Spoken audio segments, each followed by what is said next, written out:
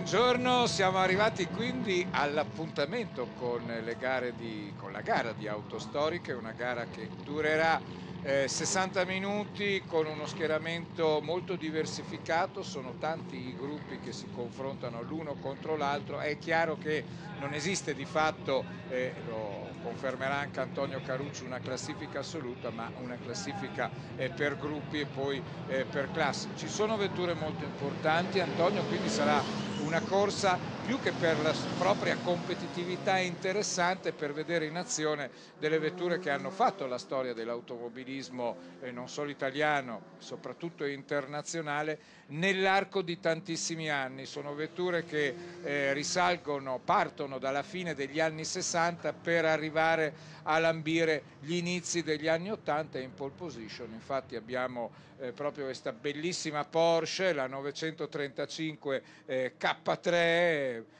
eh, versione Erwin Kremer eh, guidata all'epoca da Axel Plankenor e non solo, anche dal grandissimo Rolf eh, Stommelen che qui è portata in gara da Ronconi e da Giovanni Gulinelli che è sicuramente uno dei grandi piloti presenti eh, qui eh, alla, ai 60 minuti di, ehm, di, Imola. Poi abbiamo Riccardo Messa che ha una Alpine Renault, è una vettura sovralimentata, 6 cilindri, poi la Tuscan di Giovannini e Truglia, la Cadet GSI, vedete tanti anni mischiati tra di loro di Gerardi e Sardelliti, denti e denti con la prima RS Porsche, poi eh, Tessaro con la bellissima eh, Dallara X19, poi Girole Landini con una Evo eh, Mercedes 190 versione quasi eh, DTM, poi Ambroso eh, Iarak con un 323i eh,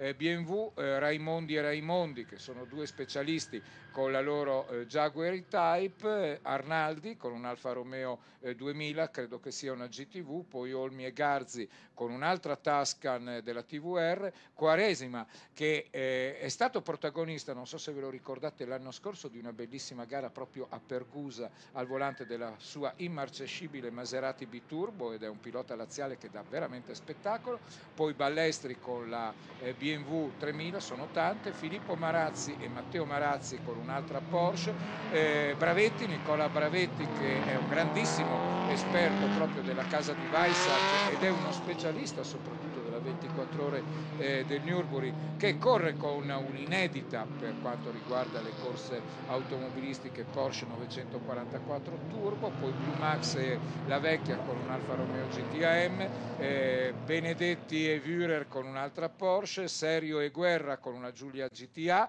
da non confondere con la GTAM, Crocchini con un Alfa Romeo 33, Guerra e Mischis con la Giulia Sprint eh, GT, poi Tosolini con una Carrera, Gianni Giudici che ha una bellissima Ford Sierra Cosworth, ex Tamauto ed ex vettura eh, Darelli.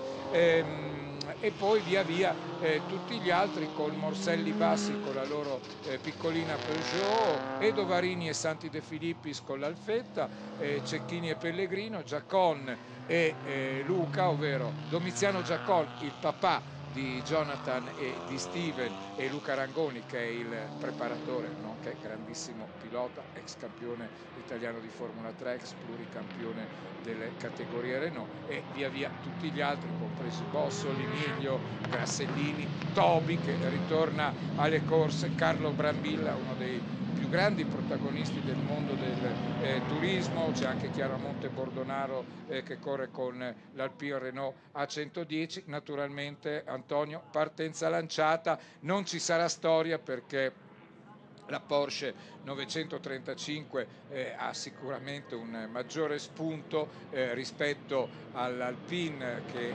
la eh, fronteggia, è curiosa la storia eh, di questa vettura, l'allineamento non è proprio perfetto. È storico sembra. però, è, storico, è decisamente storico, storico perché c'è la Dallara X19 che sicuramente è una vettura molto competitiva eh, che è molto all'esterno rispetto eh, agli altri, partenza con appunto la Porsche 935 che va a prendere comando di questa gara, poi avremo tempo di parlare delle caratteristiche eh, di eh, questa eh, vettura piano che però, eh. Ronconi, eh sì perché è una macchina particolarmente potente, va a prendere il comando quindi l'Alpine inseguita dall'Opel, la Porsche perde terreno, adesso è attaccata anche dalla, dall'Ara X19, ma ricordiamo Ronconi è un gentleman guidare questa vettura è particolarmente Ma poi difficile. Guido, questa gara è anche il piacere no, di guidare sì, queste chiaro, vetture. C'è la rincorsa al miglior tempo, è un'occasione anche per poter godere dello spettacolo degli AC Racing Weekend e di far godere anche a chi è presente nel paddock, anche ai ragazzini no, della Formula 4 certo, e della Formula certo. Reggio, anche ieri ammiravano nel corso delle qualifiche queste vetture, chiedendo tra l'altro anche a te informazioni, soprattutto certo, sul mondo soprattutto questa è un Abarth 1000, eh, attenzione che le Abarth, praticamente quella è una macchina introvabile sono quasi tutte finite in Giappone, hanno animato la storia del campionato europeo turismo e anche la storia dei campionati italiani eh, gruppo 2 turismo speciale, i campionati Triveneto che facevano spesso e volentieri tappa a Varano de Melegari che è un po' un autodromo che Antonio Caruccio conosce più che bene avendoci lavorato bene per, per, tantissimi anni. Beh, Nonostante la, mia, mia, presenza qui tuttora. Io ho iniziato la mia carriera, tra virgolette, se si può chiamare così, proprio dall'autodromo di Varano, dove ogni settimana eh, di fatto vedevo eh, queste vetture, c'erano le gare dei campionati italiani, le gare del campionato Triveneto, automobilismo ancien regime, come lo chiamo io, ma un automobilismo molto vivace che rispetto a questo dava anche l'opportunità a persone non dotate di eccessivi mezzi economici di avvicinarsi al mondo delle competizioni perché eh, bastava acquistare una vettura con qualche sacrificio prepararsela e c'erano sempre le categorie adatte, c'erano i gruppi 1 che erano i turismi di serie, il gruppo 3 il gran turismo di serie, poi si passava al gruppo 2 al gruppo 4, mentre guardate com'è interessante questa battaglia, c'è già il, sì, il la prima eh, defiance per eh, questa eh, BMW è una eh, BMW eh, gruppo 5 ovvero una eh, vettura eh, Silhouette che è costretta a fermarsi, bandiera bianca, posizione abbastanza pericolosa perché si trova quasi in traiettoria, sì, adesso va a prendere... però tra le barriere. Sì, esatto. infatti è andato alle, alle, barriere, è stato bravo il direttore di corsa che aveva già istruito. Naturalmente non possiamo pretendere su, per queste vetture la stessa affidabilità eh, delle vetture eh, moderne. Intanto al comando ci sono messe Sardelliti, eh, Sardelliti eh, con la propria Opel GSI si trova, c'è la safety car naturalmente, si trova a combattere con una vettura molto più potente, però siamo due generazioni, una diversa dall'altra, da una parte abbiamo un Alpine Renault eh, 6 cilindri turbo degli anni 80, dall'altra una vettura che ha corso fino a qualche decina d'anni fa sia nel mondo della velocità sia eh, nel mondo dei rally. Al terzo posto eh, la TVR che è una vettura particolarmente potente, molto scorbutica, molto delicata. La favoritissima, la Porsche, viene trattata direi con i guanti e c'è attenzione anche un altro eh, sosta in pista eccellente per quella che è una delle vetture più interessanti presenti, la Dallara X19. Allora, la Dallara, vogliamo raccontare la storia di questa bellissima vettura che è ancora attualissima. La Fiat X19 era una vettura sportiva nata su base eh, Fiat eh, 128 e nel 1975 L'ingegnere eh, Dallara e Bertone presentarono proprio al Salone di Parigi di quell'anno questa versione che era una versione adatta per, ecco intanto qui è stato bravo il pilota a controllare le bizze eh, di questa BMW gruppo 5 eh, Silhouette, eh, a costruire una vettura omologabile in gruppo 5 per il neonato campionato mondiale Marche e per il neonato campionato italiano gruppo 5 che si sarebbe disputato da lì ad allora. Motore 128 originariamente, 1300 cm3, eh, circa eh, in partenza eh, 180 cavalli che però sfioravano i 200 eh, cavalli nella versione definitiva, iniezione meccanica Kugelfischer, grandi prestazioni da parte sia della Dallara 1003 sia della Dallara 1006. Non so se ti ricordi, questa bellissima vettura ha partecipato anche a gare del Mondiale Marche e, e permise all'ingegner Dallara Dallara, eh, che era molto amico dell'allora capo tecnico dell'Abart e dalla Chiesa, di entrare di fatto eh, nel mondo della lancia perché dopo questa mh, esperienza eh, Dallara prese in mano la Beta Monte Carlo, nacque la Beta Monte Carlo Turbo ufficiale della lancia che prese parte e vinse il mondiale eh, Endurance negli anni successivi, poi arrivò la più bella macchina mai realizzata per eh, quello che allora era il WEC, ovvero la Lancia LC1 e poi la Lancia LC2. Dallara in precedenza aveva già collaborato con il gruppo Fiat perché dopo l'esperienza con la De Tommaso aveva fondato la Dallara Automobili proprio nel campo sportivo vicino accanto all'autodromo e aveva già messo le mani sulla Lancia Stratos da rally e da velocità, anzi se la Lancia Stratos è diventata una vettura da corsa, la versione di serie non teneva la strada, non era una gran macchina, era un X19 eh, praticamente più grande col motore Dino Ferrari, lo si deve proprio all'ingegnere eh, di eh, Varano de Melegani. Bellissima macchina, dall'Ara X19 era il mio sogno, ce n'era una che vinceva sempre le gare all'epoca in Italia, che era guidata da un pilota di Mantova che si chiamava Guglielmo Mannini, aveva la pubblicità dell'olio Fiat, poi c'è salito Robby Fidanino, Arcadio Pezzali, insomma tutti i piloti Antonio che hanno fatto la storia di quella parte di automobilismo glorioso degli anni 70, anni 80 eh, che eh, mi ha consentito poi di iniziare la, la mia professione. Sono, sono affascinato. Eh, sto, da sto guarda- da questa tua narrazione spero che da casa possano godere tanto quanto ho potuto Eh. godere io anzi io ti ho visto anche nell'enfasi Nel- gest- sai che nel gesticolare Sì, il tuo eh. entusiasmo ripercorrendo la storia di queste vetture di cui io ovviamente purtroppo per una questione generazionale di ignoranza personale no, non, non conoscevo nulla, ma, ma mi, stai, mi, stai, mi stai dando una cultura e una base e poi appunto cioè, vedere, sapere come sei arrivato tu al mondo delle corse, prima da pilota e poi in questa No, veste. no, prima ancora da, da- da amico di un commissario di percorso, che tra le altre cose possiamo cono- eh, co- eh, co- eh, salutare, Salutalo. si chiamava Giovanni Bulloni Serra, ah, insieme andavamo alla curva X di Varano, lui faceva il commissario, io stavo accanto a lui e, e lì, e lì, eh, noi eh, abbiamo iniziato questa grande passione, girando poi per la Formula 1 e tutte le categorie possibili e immaginabili. Abbiamo intravisto ancora la bellissima Porsche, la 935 K3, credo che ne parleremo in maniera molto approfondita Di quando, Bulloni? salirà, no, quando Ah, sarà- salirà Gulinelli a pilotarla perché Gulinelli è in assoluto con quella vettura il pilota più veloce, è sempre il dominatore, il suo coequipier naturalmente agisce con i guanti bianchi, io non so con che pressione di sovralimentazione sia partita quella vettura, ma ti dico che è una bestia, è davvero eh, una bestia. Interessati anche gli spettatori che provengono dal Far East, cioè eh, coloro che accompagnano i tanti piloti eh, orientali che sono presenti qui e che gareggiano sia in Formula 4, qui invece siamo in piena eh, Europa e la mamma di un pilota di. Formula 4, no, di Formula 4, sì, caucasico perché l'origine è comunque eh, quella.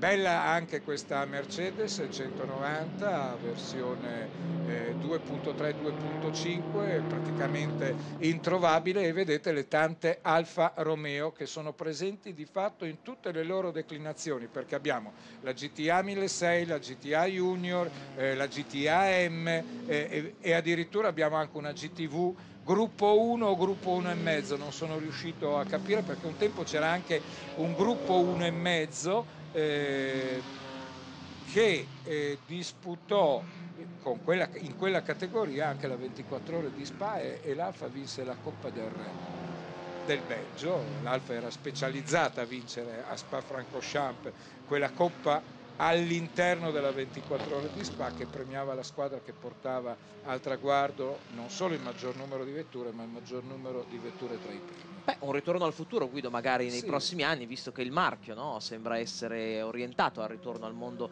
dell'endurance, indiscrezione emersa proprio lo scorso fine settimana in occasione della gara del WEC a Portimao e quindi insomma un cambio no, all'interno Sì, del eh. gruppo con l'uscita parrebbe di Peugeot una volta che Alfa abbandonerà la Formula 1 e quindi chissà Anche che non perché ci sia Peugeot, nonostante a Portimao sia andata relativamente bene, eh, non sembra avere eh, azzeccato totalmente la vettura, bisognerà vederla alle mani. No, Monza e Le Mans sono probabilmente ecco, le piste bravissimo. su cui un progetto come quello di Peugeot, sì. no? grazie all'effetto suolo sì. e la mancanza la... di quest'ala posteriore, ricordando un po' il Formula 3 monoplano no? sì, che correva a Monza col vecchio modello delle, dei, degli ultimi modelli del nuovo millennio bravissimo. della Dallara, poi impensabile poter proseguire col monoplano con quello che è stata l'evoluzione poi aerodinamica dalla 312 in poi. Però ecco insomma questo filo no, conduttore della storia che beh sarebbe sicuramente bello insomma i tifosi dell'Alfa Romeo i possessori del marchio Alfa anche un po' per deformazione mia personale professionale eh, sono quelli lo zoccolo più duro e forse i più appassionati ma anche i più esigenti da I parte più, del marchio. i più esigenti e allo stesso tempo qui intanto vediamo un Alfa 33 non dovrei dirlo ma io ho corso a Imola con un Alfa 33 gruppo N nel campionato io avrei voluto commentarti. turismo, ecco, non,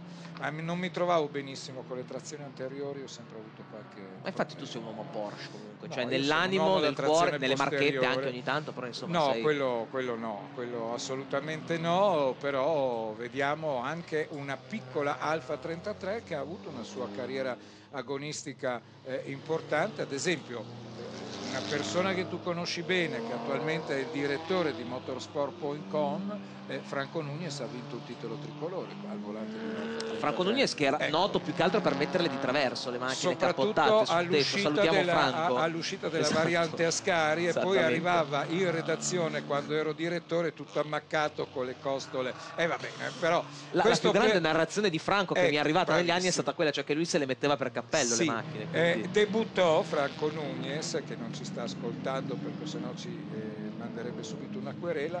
Eh, a un tempo c'era Carlo Rossi che aveva una scuola e decise Carlo Rossi di invitare un giornalista di autosprint all'epoca lavoravamo assieme eh, io e Franco non ci siamo mai persi di vista eh, e andò Franco, Franco che si capottò con un alfa box all'uscita della curva delle acque minerali. Beh, nella vecchia Imola che era più difficile di questa perché le acque minerali c'era una discesona una S da prendere in seconda poi andavi in accelerazione verso la seconda. Lui si capottò debuttò benissimo però andava forte ha vinto anche un titolo in CVT guarda lì quanto filler che c'è il filler perché io credo che la BMW eh, non abbia solamente avuto un problema pneumatico eh no, abbia proprio no, avuto un una problema o al cambio eh sì. o al motore Porsche passa ha superato Porsche quindi eh, la RS ha infilato la 935 questa è la bellissima 944 con l'Alfa 33 che tiene botta ma è incredibile quello che sta facendo Sardelliti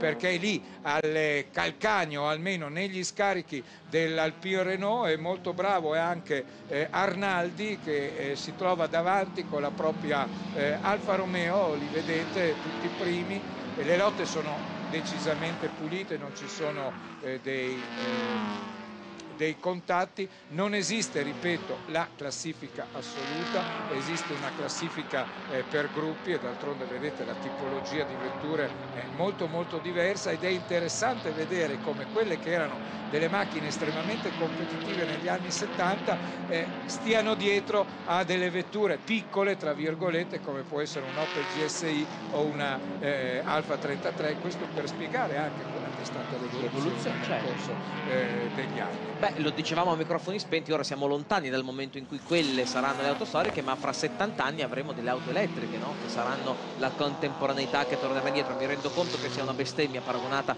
a questo tipo di vetture, però per l'evoluzione tecnica, beh, per tanti, però insomma hai capito, cioè sì, quello che tu dicevi. Quando probabilmente eh, gireranno nelle auto storiche dei vari campionati le prime, le, le, i primi modelli della esatto. Tesla. Quando o, tu eh, sarai qui a commentare alla veneranda età di 150 anni, ci sarà nel campionato italiano italiana autostoriche Matteo Losa che in coordinamento dalla regia ne avrà 90 con la, esatto, okay. con la sua Tesla Model S vedete che bello è bellissima questa sfilata qui c'è una TVR eh, che sta infilando un Alfa siamo nella eh, seconda generazione eh, dell'Alfa Romeo eh, GT vedete il doppio fanale stile GTAM la vettura che Toine Ezeman nel 1970 portò alla vittoria nel campionato europeo turismo una vettura che rispetto alle GTA e rispetto soprattutto alle rivali era leggermente più pesante, forse meno prestazionale, ma grazie all'affidabilità e grazie anche al gioco di squadra, l'Alfa Romeo aveva dei grandissimi piloti in squadra, riuscì a vincere il campionato europeo piloti contro le Ford e contro le BMW che erano particolarmente agguerrite. A proposito di Alfa Romeo, la tradizione Alfa eh, nel mondo del turismo è una tradizione eh, direi trentennale perché i campionati europei vinti dalla casa di Arese, quella che allora era la casa eh, di Arese, sono stati eh, tantissimi sia a livello assoluto quindi nelle classi maggiori sia nelle classi tra virgolette inferiori tipo la classe 1003 dove la GTA Junior che era la piccolina eh, della declinazione eh, GTA si mise a duellare con la Fiat 128 Coupé che andava fortissimo ma era estremamente fragile, ti ricordi quelle di trivellato, e sia con le bellissime ma particolarmente insidiose a livello di affidabilità Ford Escort. Stessa cosa per le Abarth, eh, due le Abarth che hanno fatto la storia per questa categoria, le 850 TC e le 1000 eh, come, eh, come questa, derivavano, lo vedete, dalla 600, eh, erano gruppo 2, ovvero eh, turismo speciale, purtroppo eh, molti proprietari le avevano svendute, i giapponesi più furbi sicuramente degli, atelier, degli italiani hanno fatto incetta e adesso per trovare una di queste vetture c'è veramente da impegnarsi tantissimo perché in Italia ce ne sono poche. L'epopea dell'Abarth eh, è nota, l'ingegner Carlo Abarth eh, austriaco con grandissima fantasia iniziò ad elaborare sia le Simca, poi passò definitivamente eh, con il gruppo Fiat e iniziò a preparare sia le 500 e a creare una eh, sorta di eh, vettura di produzione eh, differente rispetto alla 500 tradizionale, poi le 850, poi le 1000 per arrivare poi ai prototipi, prototipi che eh, sono stati lo stato dell'arte eh, soprattutto nel mondo delle salite, nei campionati europei della montagna, ricordiamoci gli esordi di Arturo Merzari oppure le grandissime vittorie di Johannes Ottner, poi dall'Abar, dalla costola dell'Abar è arrivata Rosella. Io vado invece a ritroso, partendo da quello che ti ho detto di Alfa Romeo, perché eh, voglio ricordare anche l'ultimo titolo arrivato per una delle vetture della casa eh, di Arese, elaborata e sviluppata da Romeo Ferraris nel 2020 con la vittoria del VTCR Trophy. Ma perché questo? Perché quando mi parli di Abarth, uno dei personaggi che fece salire sulle punte Abarth fu proprio Romeo Ferraris, quando partì col progetto della Bart 1000 poi col millino quando tu mi parli di motori per i prototipi e quindi insomma il, una linea che il, è ripartita no? sempre da quel punto Abarth il millino di Romeo Ferraris guidato in Italia tra i prototipi da un pilota bolognese che si chiamava anche Tiziano Serattini ecco. un motore che girava già all'epoca a 10.000 era rivoluzionario perché poi i motori che superavano i 10.000 giri sono arrivati eh, negli anni 80 e negli anni 90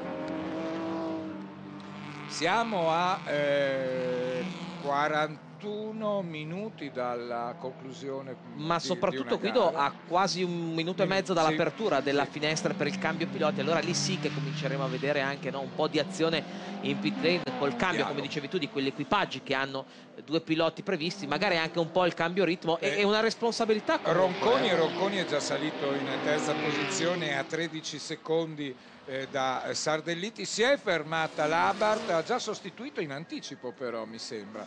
L'Abart ha già... Ma probabilmente è rientrato per una problematica. Anche, rientra anche la BMW, la BMW di Balestri, eccola qui. Anche questa è una versione ehm, gruppo 5, il gruppo 5 iniziò eh, la propria carriera. La prima gara assoluta del gruppo 5 fu all'autodromo del Mugello, fu la prima gara del campionato in cui si scontrarono sia le BMW sia eh, le Porsche e c'erano all'epoca anche le Dallara X19, quindi classifica eh, destinata a eh, modificarsi con eh, il tempo che sta scorrendo la, fra 35 secondi dovrebbe essere aperta la eh, pit lane, continuano anche nelle retrovie a battagliare, ma ricordiamoci ogni, ci sono tanti eh, raggruppamenti. Questa è una bellissima, guardala,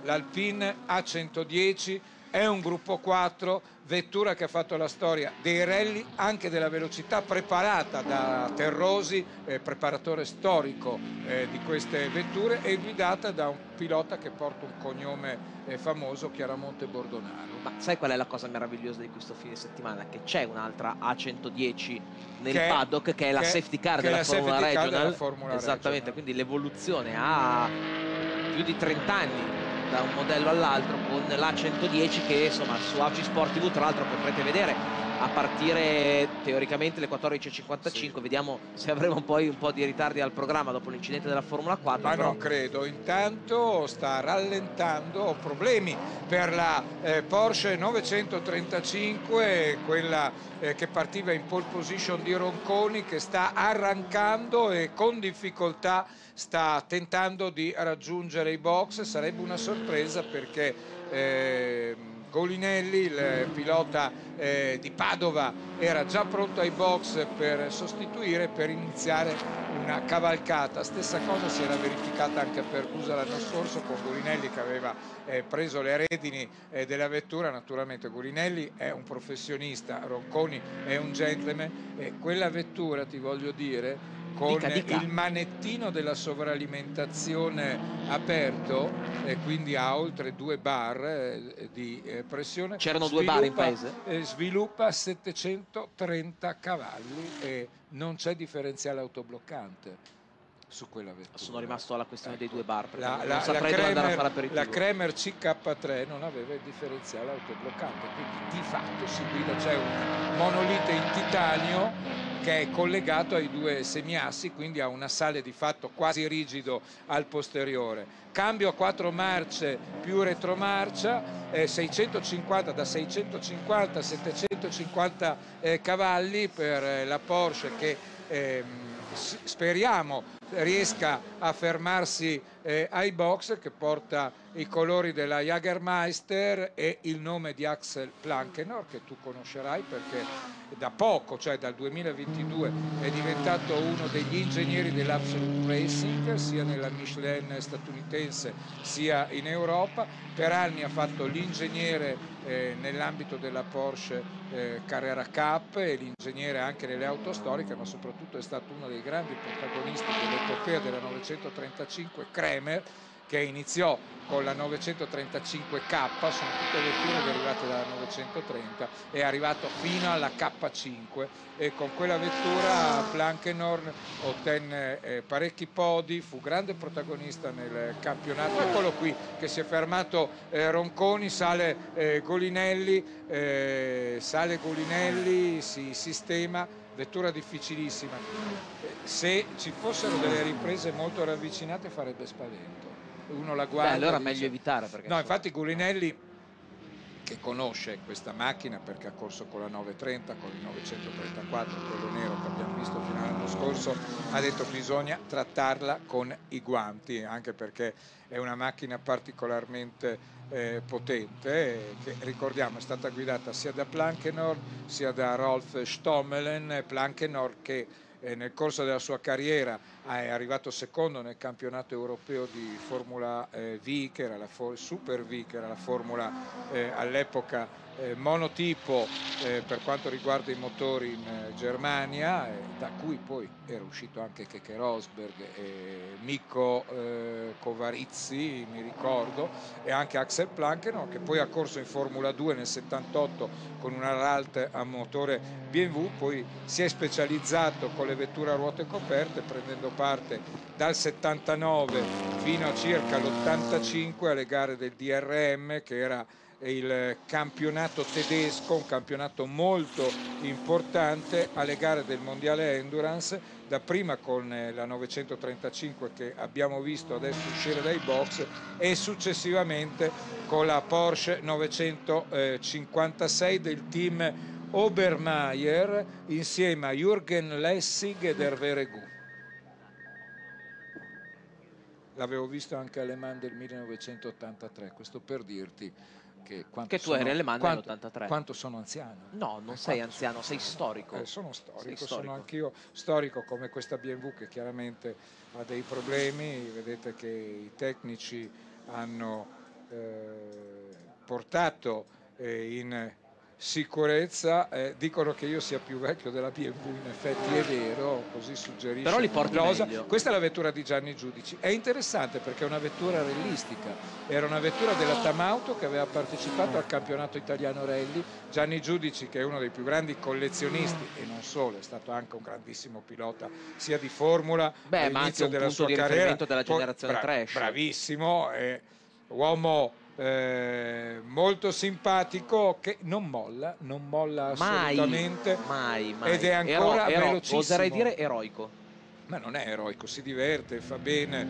Eh, quando uno si diverte non, non c'è mai, credo, eh, eroismo. Eh, qui si scambiano le posizioni i vari gruppi con Messa davanti a Garzi, Sardelliti, Landini, Trulli, Arnaldi e Quaresima che resiste bene tra i primissimi con la propria Maserati, Raimondi con la Jaguar, poi Guerra, Lelli, Bravetti che è risalito con la Porsche 944, Vuer, Crocchini, Mischis, Chiaromonte che è il pilota dell'Alpia Renault A110, Bassi, Castronovo, Bossoli, Luca Rangoni che è salito in macchina adesso, Denti, Alberto Bergamaschi che è un nostro eh, collega, per anni è stato eh, l'addetto stampa della Continental con il pallino sia della velocità moderna, correva anche nei campionati di Henry Morgan al volante delle Van Diemen di Formula Ford, sia delle auto d'epoca, corso col Maggiorino, corre un pochettino dappertutto, poi c'è Tobi, Carlo Brambilla che ha trovato eh, una Opel identica a quelle che utilizzava nel campionato italiano di turismo, poi Frasson, Amendolagin, Bressan, Benusiglio, altro nome storico del mondo dell'automobilismo, Tosolini, eh, Gulinelli, Arvetti, Tramonti, eh, Giudici e Dovarini che è salito in macchina sostituendo Santi De Filippi. Tra l'altro, scusami, uno degli specialisti del Nordschleife, Marino, certo, internazionalmente certo, riconosciuto la, come uno dei punti chiaro, di riferimento chiaro, delle gare dell'LMS. Chiaro, è certo, tante no, 24 è, cioè, nel senso bizzarro, no? Perché passare dalle auto storiche alle è, gare al Nordschleife... E, e Dovarini è, è, è un altro uomo che fa parte di una generazione di persone simpatiche, guardate com'è interessante la vettura del Team Tessaro, eh, siamo nel pianeta del 128 gruppo 2, 128 gruppo 2 che correva nella categoria 1150 e di fatti monopolizzava questa classe dove dominava un eh, pilota di Parma che si chiamava Giuliano Battistini, eh, c'era anche un altro pilota che si chiamava Caio di Conome, eh, c'era il vecchio, tra virgolette, Boffa che aveva anche corso in Formula 1 ed era uno specialista eh, della Maserati 128 che poi è stata sostituita naturalmente nella stessa classe 1150 dalla Fiat Ritmo. Eccola qui la A110 gruppo 4 1.6 affidata a Chiaromonte, di questa c'era naturalmente anche la declinazione gruppo 3 e la classe 1006 del gruppo 3 era invasa dalle Alpine Renault A110. C'è anche l'Alpine Renault 1003 poi c'è stato anche un aumento di cilindrata. Attenzione sul mercato delle auto d'epoca dove sono quasi introvabili che c'è anche un Alpine Renault che è realizzata in Spagna e che vale molto meno dell'Alpine Renault originale. Cioè era sempre un Alpine Renault però non ha stessa, la stessa valenza di quella spagnola. Beh, è un mercato interessante anche quello comunque della compravendita delle auto storiche. Sì, tantissimo e ci sono vetture come l'Alpine Renault che sono quelle originali, quelle belle sono davvero introvabili, mentre si trovano queste bellissime 205, anche le 205 hanno fatto la storia di parecchie generazioni di piloti perché tanti ragazzi che poi sono arrivati al professionismo hanno iniziato a gareggiare nel campionato italiano di velocità turismo con le 205 GT c'era anche Marco Antonelli, il papà di Kimi Antonelli che ha iniziato dove non è stato Antonelli? Eh, ovunque, comunque, da, dalla Peugeot all'Alfa Romeo ha fatto, eh, ha fatto eh, di tutto. Una delle vetture più anziane e la vediamo proprio davanti a questa eh, Fiat eh, 128 è quell'Alfa che credo sia in assoluto eh, targa eh, monegasca, credo sia in assoluto la vettura più anziana presente eh, proprio eh, qui in eh, quel di Imola per questa gara del campionato ACI Storiche che si ripeterà eh, all'autodromo di Pergusa il 20 e il 21 maggio quando saremo là per Con il campionato, campionato Gran Turismo Endurance, Gran prima Turismo tappa del campionato della Endurance, Gran sì. Turismo Endurance e la seconda tappa invece il campionato Sì. italiano Sport Prototipi. Dove si potranno vedere Guido? Sempre su Agi Sport TV. sempre su AC Sport TV per cui gli amanti delle auto d'epoca e sappiamo ad esempio che i siciliani hanno una grandissima passione. Qui ci sono Chiaramonte c'è ehm, Santi De Filippis eh, i siciliani amano le auto storiche eh, molti sono anche dei eh, collezionisti eh, importanti. Allora campionato italiano di auto storiche che è diviso in vari gruppi c'è un eh, primo gruppo che è il periodo cosiddetto eh, F eh, che eh, comprende eh, delle vetture eh, di cilindrata 1600 poi c'è eh, un periodo G1 che va da 1600 eh, a 2000 poi il G2 eh, dove si trova appunto la Fiat eh, 128 e si va avanti G2, G2 H1, ci sono le varie eh, sottoclassi mentre ha preso il largo eh, l'Alpine di Messa che ha ben 20 secondi di vantaggio sulla Opel di Sardelliti, ma attenzione perché secondo me eh, adesso lo aspettiamo Gulinelli eh, riuscirà, cercherà di eh, la rimonta al volante della propria eh, Porsche 935 eh, K3 classifica commesse Sardelliti, Truglia, eh, Arnaldi e via via tutti gli altri con questa GTV ecco vedi questa GTV eh, davanti alla Peugeot 200 questa è un gruppo 1 o un gruppo 1 e mezzo cioè se ha una preparazione minima è un gruppo 1 e mezzo ma credo sia proprio un gruppo 1 Meraviglioso. che correva nella eh, classe gruppo 1 classe 2000 dove poi arrivò l'Opel Kadett GTE che era più moderna, era più maneggevole e soprattutto con Grassetto, con Toby eh, fece la storia di, di quel gruppo. Sono veramente affascinato, ma quanto è bello poi vederle oggi. In azione Sì. su una pista completamente Eh. cambiata no? rispetto a quella che era invece ai tempi in cui queste vetture venivano Eh impiegate. certo, non c'era ancora, cioè l'autodromo c'era, c'era- era però un eh, semistradale, un autodromo eh, molto eh, difficile come è difficile eh, quello di odierno. Ne parlavamo proprio ieri in occasione della eh, gara eh, vinta da Carlotta Fedeli del TCR di SG eh, con Marco Butti, il quale dava- mi dava ragione dicendo che Imola forse è in assoluto l'autodromo più difficile che esiste in Italia. Ah, Perché Butti voleva ha- secondarti ovviamente perché era qui in cabina di commento con te. aveva- Attenzione, vedete, eccola qui la 935 con eh, Gulinelli che sta affrontando la curva del tamburello. Allora vi ricordo le caratteristiche di questa vettura. Il cambio era a 4 marce perché derivava dalla prima edizione della Porsche Turbo, quindi 4 marce, 5 con la retromarcia. Non c'era differenziale autobloccante ma un Oppala. monolite e qui si apre la porta della eh, Una vera e propria sportellata. Sì, sì, è proprio una sportellata. sì. Eh, resistenza aerodinamica aumentata all'uscita della eh, variante alta. Downforce. Eh downforce. sì.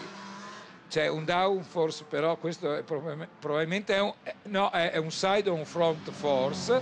Eh, con eh, Gulinelli che sta tentando con grande prudenza di districarsi da questo traffico dove c'è la vettura 301 dovrebbe essere quella di, di Toby. Sì infatti è Toby Carlo Brambilla che si fa eh, da parte. Ragazzi questo era un grandissimo pilota. Tu eri troppo giovane eh, ma probabilmente l'hai- hai visto qualche gara di, eh, di Toby eh, che adesso è ritornato in possesso della propria vettura sta facendosi da parte per consentire il eh, passaggio Ah, di eh, verrà fermata più- intanto la Tuscan, hai visto Sì. per l'apertura della portiera di prima. eh sì, per sicurezza, bandiera eh, nera con eh, il pollo eh, arancione. Qui ci sono da parte della eh, 105 questa Alfa GTA delle traiettorie un po' strane. È stato bravo il eh, pilota della Porsche 944, credo che sia Bravetti. Guardiamo la 403, sì,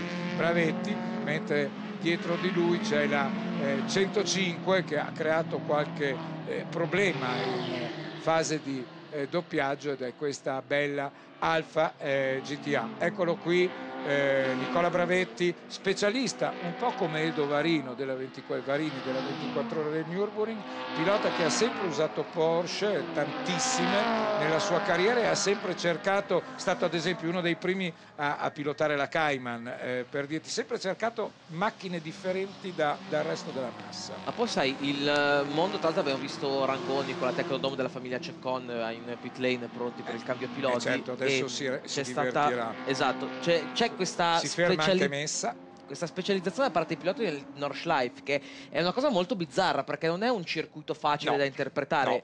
e la velocità in sé non è neanche una dote fondamentale, è proprio una di quelle piste in cui ancora ci vuole coraggio, quasi follia e incoscienza per portare al limite le vetture lì e c'è una serie di piloti professionisti in questo, tra cui appunto citavi tu alcuni nomi precedentemente, intanto rientrano nei box. Sì, eh, Luca Rangoni è salito sulla eh, vettura.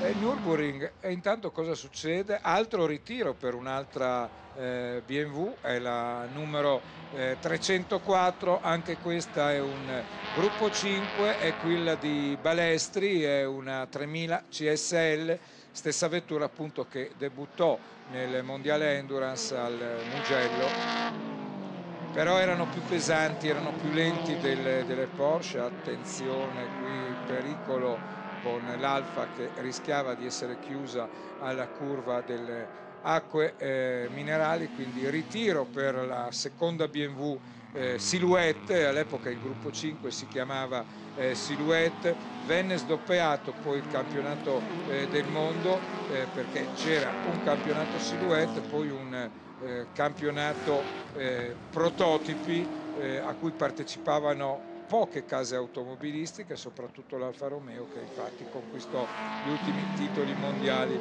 proprio con le 33 eh, TT eh, 12 cilindri, quelle sponsorizzate all'epoca eh, dalla Campari, ancora soste ai box che proseguono quando mancano 23 minuti alla conclusione di una gara che adesso sta vivendo della rimonta di Gulinelli, pensa Gulinelli anche approfittando delle soste ai box per i rifornimenti, per il cambio pilota e degli altri è già risalito in dodicesima posizione con la propria Porsche nettamente più veloce, gira in 1,58 eh, quasi 15 secondi più veloce del eh, secondo eh, mentre gli altri stanno eh, continuando.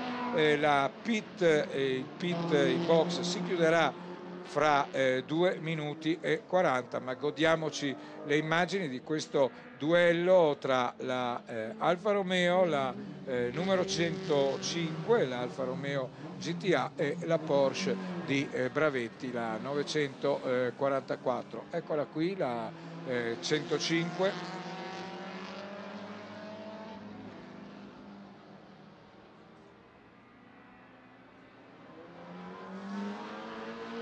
questa è la Porsche di Bravetti, è una 944 Turbo, c'erano due versioni della 944, continua questo eh, duello molto interessante, vedete che è andato a chiudere il eh, pilota eh, dell'Alfa Romeo si ferma l'Alpine di Bordonaro di Chiaramonte, la 110. Sì, anche perché qui ormai mancano due minuti alla chiusura eh della sì, pit lane. E quindi devono, devono sbrigarsi. Cambio pilota anche per loro.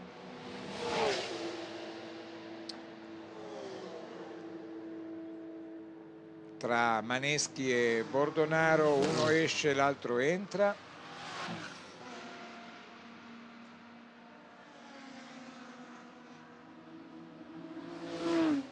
Non è agevole eh, correre per 30 minuti con queste no. vetture che non hanno eh, aiuti elettronici, non hanno ABS, sono scomode, l'Alpine poi era invivibile dentro, quasi claustrofobica, eh, in una pista difficile come Imola.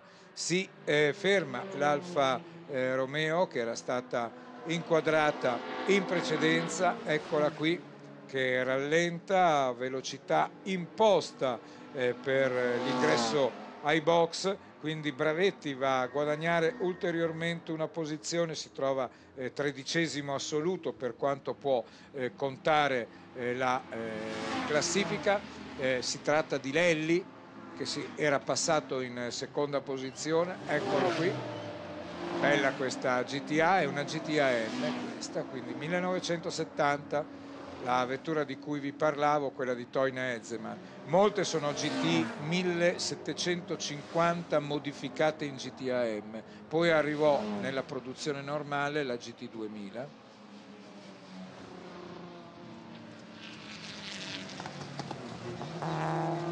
Ah, la Mercedes a momenti ha dei problemi, il ragazzo eh, che guida la bellissima vettura inglese si è fatto però eh, da parte e queste sono le immagini dell'Alpine eh, risalito il eh, nuovo pilota che dovrebbe essere Chiaramonte o Arvetti, non, non, non, sono riuscito a capire, questa è un'altra Alfa 2 eh, litri di eh, cilindrata GT, vedi come erano belle con queste prese d'aria mentre Gulinelli affronta i Cordoli con la sua Porsche, questo è il gruppo 1, la eh, GTV eh, 2000, ecco questa è la versione stradale diciamo della GTAM. Un gioiello. Sì, un gioiellino, di queste se ne trovano. Eh, sono direi abbastanza difficili le GTA 1600 originali perché molte erano state già all'epoca modificate e non erano delle GTA, eh, venivano prese dai preparatori, poi diventavano GTA, ma la GTA proprio vera eh, è rarissima, come rarissima la Giulia Berlina quadrifoglio verde. Rarissima, non se ne trovano. Ci sono nel museo dell'Alfa Romeo. Tu hai avuto il privilegio di poterla guidare? No, di, di, di, per questioni di famiglia di, averle vissute tutte, tutte, le declinazioni delle alfa perché mio papà era un appassionato. Abbiamo sempre avuto, quando ero bambino, alfa dalla sprint alla sprint veloce, tutte preparate da un preparatore che si chiamava Biasetti, che tenne a battesimo in Germania, un grande pilota che poi divenne protagonista della storia BMW che si chiamava Huber Hane e poi tenne a battesimo tanti motonauti importanti tipo Casanova, eh, fecero il record mondiale con gli entrobordo, gli entrobordo erano tutti a motori Alfa Romeo. La motonautica è spesso però in correlazione col mondo del motorsport. Certo, certo perché eh, all'epoca e anche adesso eh, i motori Alfa Romeo erano dei motori che sono gli stessi motori della GTA eh, alla fine eh, erano i motori della classe entrobordo corsa.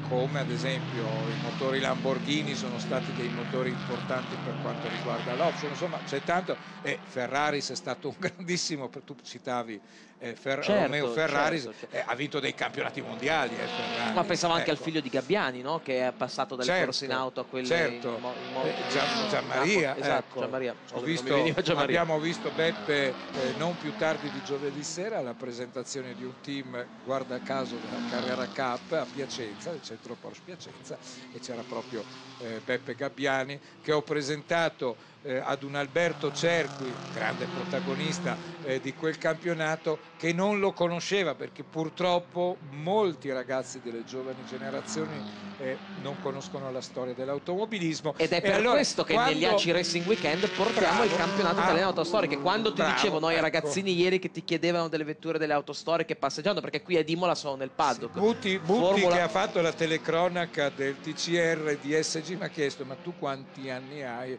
Quando l'ha saputo mi ha detto beh allora sei della stessa generazione. Perché Guido Schitto ne ha 174 anni, per quello che Matteo Losa inquadra la vettura di Bossoli. Di Bossoli, che è una 44 turbo. Portati benissimo comunque, se posso dire. Eh, la, la 44 anni. turbo sicuramente Porsche.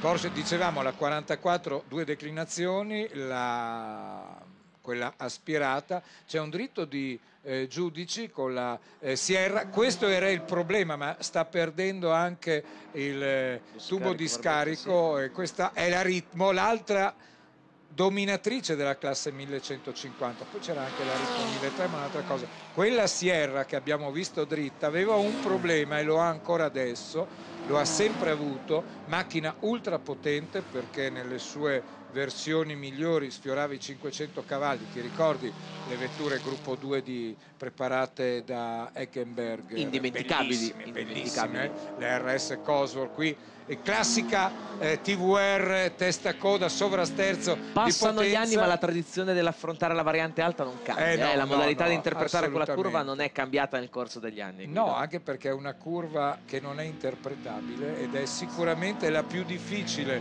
eh, è la più lenta ma è anche la più difficile eh, dell'autodromo di Imola questa è la Mercedes la 190 Evo Ale Toncione eh, protagonista nel, soprattutto nel campionato DTM, vettura introvabile, era la rivale eh, di fatto della M3, ben più difficile, motore eh, 4 cilindri, eh, 16 valvole, potentissimo, oltre 270 cavalli. Roland Dash te lo ricorda guidare questa vettura? Non me lo ricordo eh. guidare questa vettura, ma me lo ricordo dalle tue narrazioni Guido, perché tu sai che io comunque ti ascolto tipo papà Castoro quando racconti di queste storie del mondo del motorsport. Io non so, ha detto qualcosa, intanto qui eh, vediamo la vettura di Toby, eh, la Opel Cadet GTE, non vorrei essere io, ho iniziato a correre con questa vettura nei rally come navigatore. E, qui, al, e in questo al, caso questa vettura al, li porta meglio di te. Al Valli Piacentini del 1977 fu un disastro perché eh, Beh, tutti i grandi successi però partono da momenti ma difficili infatti come, cioè, la tua grande carriera come iniziata... navigatore ho iniziato ho finito lì dopo essere stato insultato da, da, da, chi pilotava giustamente che poi però è diventato il mio sponsor quando Hai visto? Correvo. allora vuol dire che l'hai comunque colpito ma perché sono simpatico perché al primo controllo difetti, ho timbrato con un minuto d'anticipo quindi ci siamo, siamo partiti già con un minuto di ritardo nei Succede. confronti di tutti, di tutti però era per togliere pressione era una macchina comunque Cade GT tornando alle cose serie macchina ottima nei rally ottima in pista eh, molto maneggevole eh, molto istintiva. Anche questa è una vettura che difficilmente si trova in ottime condizioni. Proseguono intanto i problemi per la Sierra eh, Cosworth di Giudice di Giudici che aveva proprio il problema in frenata era una vettura che dopo tre giri i freni andavano in fading ed era molto difficile fermarla. Poi questa ha un assetto poco pistaiolo perché ricordo è un ex tam auto del campionato italiano rally. In che cosa andavano i freni? In fading. Esplicalo a me alla casalinga Ma no, si, si, riscaldavano, quindi perdevano la potenza e alla fine eh, arrivavi con il pedale a fondo corsa, soprattutto quando arrivavi dopo la trincea di Valle Lunga, che all'epoca era trincea vera, perché dai Cimini si arrivava al semaforo eh, praticamente in pieno, ecco se ti ritrovavi eh, con il pedale del freno giù non facevi Perché tu mi insegni buona... altro che l'abominio del GT3 con l'ABS. No, eh no all'epoca non. Allora, all'epoca, eh, anche quando correvo io, ABS, sequenziale, doppia frizione, no, noi si andava o di cambio normale o di Uland o prima ancora dello Uland c'era il cambio di Colotti che era ad innesti frontali e quindi ti facevi male anche alle mani quando correvi persino in Formula Ford con la Van Diemen in Formula 2000 in certe piste tipo Varano Magione dove dovevi cambiare molto anche il pilota dilettante eh, fingeva quasi di essere a Monte Carlo perché arrivava alla conclusione della corsa con le mani piagate eh, eh, succedeva questo. Avevo le piaghe ho ancora dei guanti insanguinati quasi come delle reliquie è una reliquia certo. Ero lento ma piagato si può dire facevi piagare insomma. Sì, sì.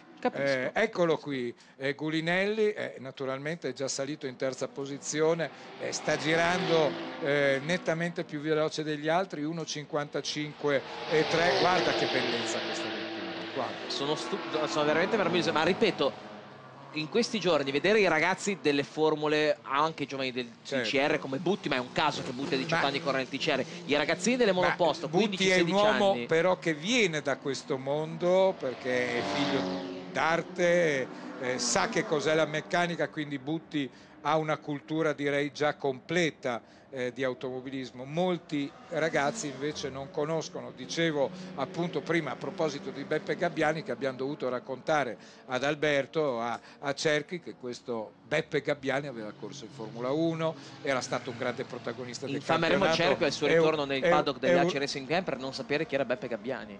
No, Anzi, gli chiederemo quando lo rivedremo a Misano. Hai, capito hai ca chi è allora, Beppe, chi è Beppe Gabbiani? Gabbiani? Chi ecco. è il ecco. papà di Gianmaria Gabbiani? Ecco. E infatti ha detto io conosco un Gabbiani, Gianmaria, ho detto no ma quello è il bello di è famiglia. La versione, è la versione Evo. È la versione evoluta, è il bello di famiglia, è un ragazzo di una simpatia ed è anche televisivamente molto bravo, abbiamo lavorato tanti anni assieme a Nuvolari e secondo me aveva delle belle potenzialità poi lui continua a Faceva fare il commento tecnico dell'Indicar con sì, Marco Cortesi sì, che oggi è più che oggi in prima erano amici eh, per la pelle poi Gianmaria adesso sta facendo l'enduro è un grande protagonista va moto, auto, barche fa di poliedrico. tutto. è poliedrico è un ragazzo simpaticissimo ma Silvia guarda che bello è inutile che dica che Golinelli ha iniziato a correre sulla mia macchina in Formula Italia. Beh, secondo me invece ecco, è utile ecco, dirlo. Ecco, che macchina era? Formula Italia di Henry Morrow, la numero 21. Vedi? Vedi? E invece adesso, guarda, proprio per quello corre col numero 149. Eh, sì, proprio per dimenticare questo suo eh, debutto nell'automobilismo. No, lui ha fatto il professionista, è arrivato a lambire anche in Formula 3000, comunque è stato un grande protagonista dei campionati italiani di Formula 3. Adesso direi che in Italia è il massimo eh, specialista eh, di auto storiche al volante della Porsche, un ragazzo simpaticissimo eh, che non perde eh, assolutamente la passione per l'automobilismo, sta infilando eh, la Porsche di Bravetti che è stato proprio bravetto e lo ha fatto passare. Applausetti per Bravetti. Ecco, applausetti per Bravetti, scusateci queste divagazioni.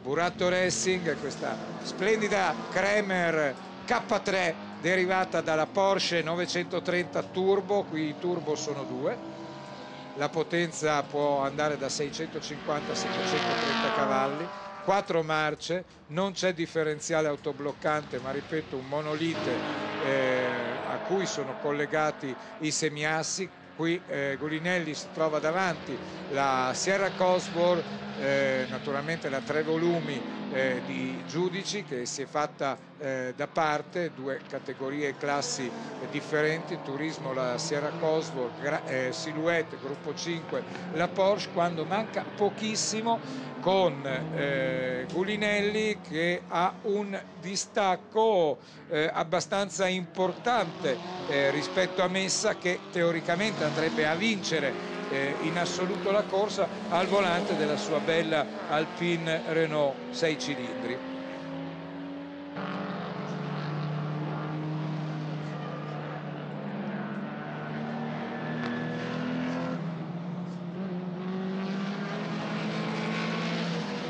Andiamo a vedere poi come sono alcuni dei grandi protagonisti eh, di, di, questo eh, prima gara delle auto storiche, gara di un'ora, allora Messa primo, Giovannini secondo, diamo una classifica eh, assoluta ma non una classifica eh, per classi, Gulinelli, Girola, Olmi, Arnaldi, Gerardi, Quaresima, Raimondi, Serio, Denti, Lelli, Bravetti, Crocchini, Tosolini, Guerra, Blumax, Maneschi, eh, Ruberti, Morselli, Edovarini, eh, Giacon eh, Padre, Tramonti, Frasson, Caprotti, Grassellini, Giudici, Arvetti, Lupoli, Bressan, Bossoli, Gotti, Tessaro, Papa, in Bimbo e eh, Benedetti, giro più veloce per Gulinelli in 1,55 e 320 alla media di 153 che è un gran bel andare. Sì. che è un gran bel andare qui a Imola poi. Fortunati anche Guido comunque per le condizioni meteo perché venerdì quando si stava allestendo il paddock del campionato italiano sì. autostoriche abbiamo avuto un po' di pioggia arrivata con 9.35 sotto la pioggia lo raccomando anche perché devi eh, chiudere di fatto il manettino, non avere pressione, poi all'epoca la pressione di sovralimentazione non era regolata da tanta elettronica come adesso e quindi adesso abbiamo una progressione. All'epoca non avevi niente ai bassi Brutale, regimi e arrivavano all'improvviso, quindi ti scomponeva eh, la vettura. Eh, e la Porsche era specialista in questo. Però era una macchina molto equilibrata perché pensa eh, per spostare il baricentro il più basso possibile il cambio è a testa in giù proprio per aumentare il peso al retrotreno e per dare a questa vettura la trazione. Guarda che ha la posteriore e che eh, eh, retrotreno che ha molto largo. Lo vedi?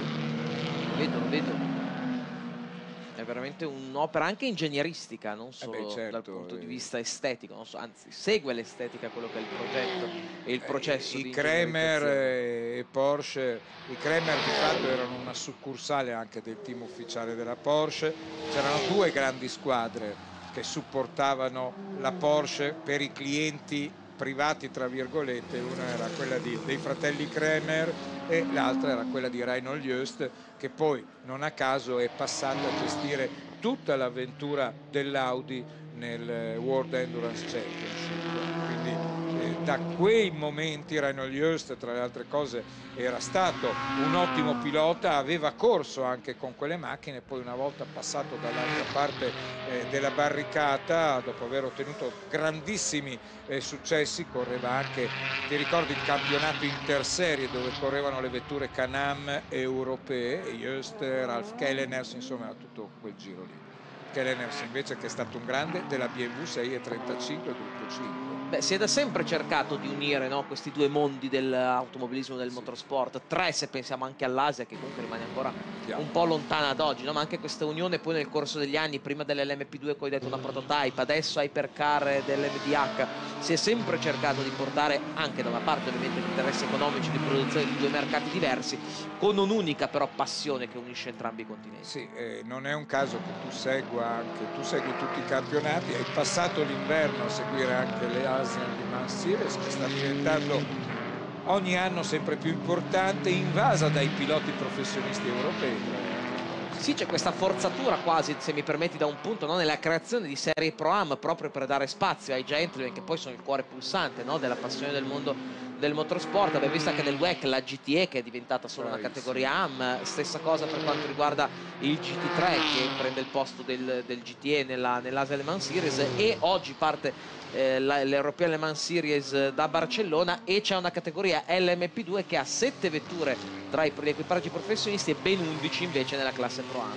E poi c'è anche da dire che c'è questo travaso di piloti dall'Europa al Farista e dal Farista all'Europa, lo vediamo, lo abbiamo già accennato prima con i giovani che sono presenti ad esempio in Formula 4, nel TCR, nelle varie categorie e a poco a poco anche questi piloti stanno avvicinandosi al professionismo. Abbiamo un cinese in Formula 1 come, come Guani Zhou, sono tutti nati a, a livello motoristico in Italia. Ecco. Esatto, e invece Guido è interessante notare come da tempo c'è chi invece fa la strada inversa, penso a Ronny Quintarelli, Bravissimo, pilota nostro amico, cresciuto, nostro carissimo amico cresciuto in Italia sportivamente. È, è l'emblema della Nissan in Giappone È l'emblema della Nissan in Giappone, è l'emblema di chi ha abbandonato la carriera in Europa per questioni di budget, è volato da adolescente in Anche Giappone. Anche perché spesso e volentieri, non me ne vogliono, in Europa di piloti capiscono ben poco, si vedeva già quando ha fatto l'europeo di Formula Renault, eh, Quintarelli quanto andava forte, era stato anche un grande nei kart, è stato costretto,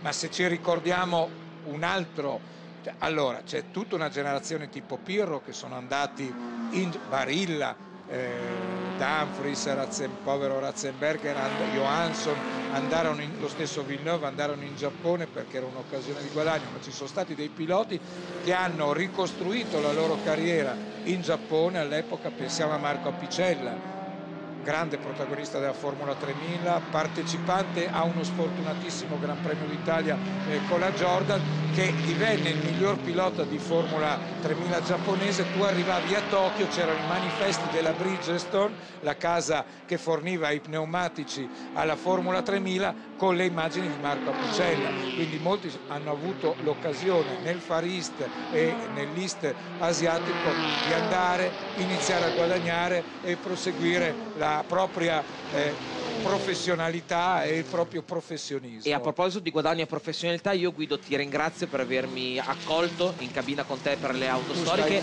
Io, no, io sto lasciando ad una persona professionale e eh certo. competente il microfono che ti accompagnerà poi nella prossima gara TCR Italy perché al termine del, delle autostorie che ci e sarà invece il ritorno alla contemporaneità del TCR Italy e quindi passa, passa Gulinelli secondo Io lascio il microfono a Giulio Rizzo di Enco che è fornitore di pneumatici Rizzo, proprio della Giulio TCR. Rizzo, si parlava di Farist e Giulio Rizzo è il signor eh, coreano, oltre a essere Mr. un- Barbecue tra l'altro. Al- altre- oltre a essere eh, collega, eh, è, anche eh, uomo Hancock, Hancock che ne abbiamo parlato anche ieri, sia io e te, sia eh, con eh, Marco. Abbiamo con fatto le Marco marchette? Butti. No. No, no, abbiamo fatto le marchette, però abbiamo spiegato anche come è riuscita Hancock a risolvere il problema di questa eh, fabbrica incendiata e ad assicurare le coperture ai nostri campionati. Grazie, quindi io è stato un onore un privilegio. eh, ti ringrazio anche per me, eh, ci vediamo prossimamente. Seguite Antonio Caruccio che eh, fra breve, nel primo pomeriggio, eh, commenterà eh, le gare di Formula Regional e le gare del campionato italiano Sport Prototipo, mentre noi continueremo sempre col TCR adesso fra qualche decina di minuti, poi con eh, il TCR DSG e infine con l'ultima gara del campionato italiano di Formula 4 mentre sta per scoccare l'ora della conclusione di questa gara del campionato italiano d'auto storiche con Messa che l'ha dominata di fatto dal primo fino all'ultimo giro va a guadagnare la prima posizione. Non esiste ripeto una classifica assoluta ma esiste una classifica per eh, classi e per gruppi, per gruppi con questa Alpine Renault eh, V6 la famosa A310 che rispetto alla 110 è più recente, il modello successivo, non ha una grandissima eh, tradizione agonistica ma che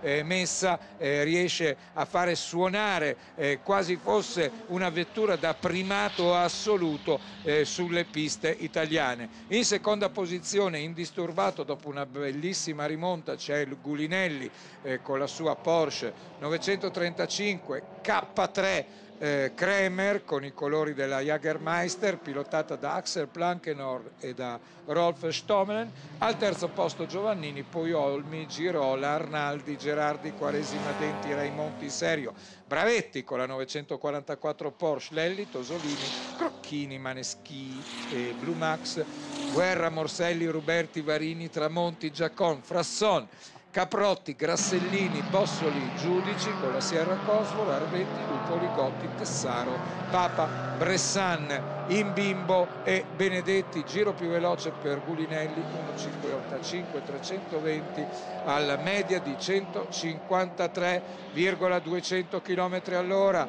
Adesso è il giro finale e la vittoria per Messia eh, che ha dominato dal primo all'ultimo giro, fa sì con la testa, lampeggia, gioisce, applaudito dai propri tecnici, va a vincere questa eh, gara interessante che ci ha messo a confronto con un automobilismo differente da quello a cui siamo eh, abituati eh, a vedere, eh, differente rispetto ai commenti che facciamo in genere, seconda posizione dopo una grande rimonta ma con una vettura notevolmente più potente ma anche difficilissima da guidare, Gulinelli con questa bellissima Porsche 935, terzi a pauso per eh, Giovannini mentre guardiamo quello che è successo all'Alfa 33 che è andata eh, fortissimo in, eh, questa, in, questa, corsa, era tra i primissimi nelle fasi eh, iniziali, questa è l'Alpine A110 di Chiaramonte, la 110 1600 gruppo 4 inseguita da un Alfa GTA M e via via da tutti gli altri. Si conclude così eh, questa corsa, spero eh, di avere eh, insieme ad Antonio Caruccio reso vivo il ricordo di molte vetture che fanno parte dell'immaginario collettivo e fanno parte anche del passato di tanti noi, di noi.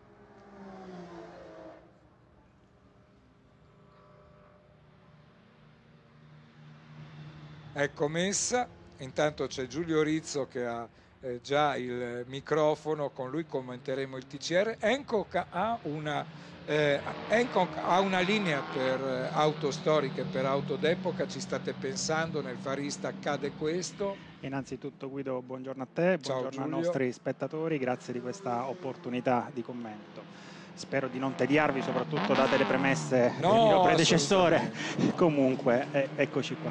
Eh, rispondendo alla tua domanda, abbiamo una vasta gamma di prodotti racing, qui parliamo essenzialmente di 15, 16 e 17 pollici. Alcuni piloti già le usano come la Maserati di mm, eh, Quaresima, Quaresima, Quaresima esatto, già da va, diversi va, anni. Va fortissimo, è arrivato ottavo assoluto. Anche giudici, spesso le usate sulle sue Alfa Romeo quindi sì, abbiamo una vasta gamma. Non le può usare la Porsche perché ha gli 8 pollici Bravissimo, davanti. stavo per ecco. dire la stessa cosa, ad eccezione delle Porsche. Eh beh, ma perché Hai hanno, studiato? No, hanno 8 pollici davanti che ormai è una misura che non fa più nessuno. Esatto, uh, purtroppo è così. Credo anche la Dallara X19 abbia qualche problema, oppure avete le misure? No, per la Dallara X19 ancora ancora sì, ma le misure più critiche sono appunto le Porsche, eh. uh, sia per questioni di canale, sì, sì, della sì, larghezza del canale in rapporto alla, al diametro. Ecco la confermata la classifica, Riccardo bravissimi Messa. tutti quanti. Dicevamo con Antonio che eh, correre per 60 minuti, anche se c'è stato il cambio pilota, ma bastano 30 minuti in queste condizioni, perché oggi c'è molto caldo, su una pista come Imola, senza ABS, senza Cambio aiuti elettronici. cambiare eh, ogni volta. cambiare ogni volta, beh, non è facile e alcuni piloti poi non hanno 20 anni, quindi anche fisicamente come fanno non lo so. Assolutamente. Eh però anche un'occasione per vedere delle splendide macchine, alcune sono ovvi ovviamente replica, ma altre hanno un valore storico del tutto importante. Del abbiamo tutto visto l'Alfa 1009, cioè ne abbiamo Come dicevi, comunque è una competizione diversa da quella a cui siamo di norma abituati a vedere, però tanti gruppi, tanti periodi storici e tante macchine che hanno fatto la storia dell'automobilismo, non solo nazionale. Adesso chiedo alla regia un'informazione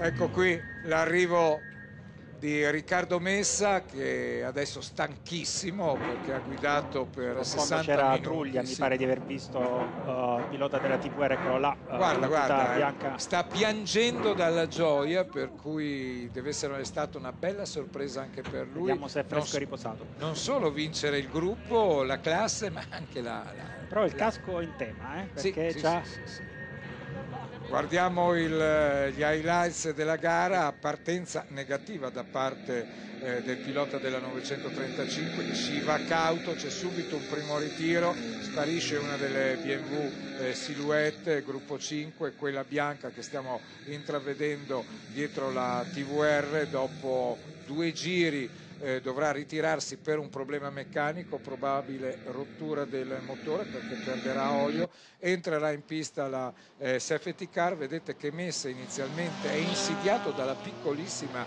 Opel GSI che è chiaramente una vettura molto più recente di tanti altri e quindi è più scattante. Eh, ecco qui la rottura eh, del motore ed è bravissimo, quasi un grippaggio, avete visto che ha bloccato addirittura una ruota ed è costretto a fermarsi, si riparte, eh, Messa eh, prende il largo e poi vivremo della bella rimonta della Porsche 935 soprattutto quando dopo eh, le sosta ai box obbligatorie salirà eh, Gulinelli. Eh, Messa prosegue a danzare sui cordoli della variante alta, questo è il momento delle soste ai box, si ferma anche l'Opel Cadet GTE eh, dove salirà Tobi, ovvero Carlo Brambilla, bellissime le immagini di questa GTAM inseguita dalla Porsche 944 di Bravetti, questa è la Sierra Cosmo ex Rally Tamauto eh, di eh, Gianni Giudici, questo è Gulinelli che inizia una rimonta che gli assicurerà anche il giro più veloce della gara, 1.55 e eh, 200 km all'ora. Arrivo eh, di messa e su queste immagini adesso un attimo di attesa, poi vi do appuntamento assieme a Giulio Rizzo per gara 2 del TCR Italy edizione 2023 da Guido Schittone. A presto. Arrivederci a dopo.